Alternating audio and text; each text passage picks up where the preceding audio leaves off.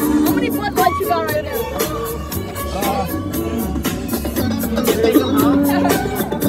Oh, man.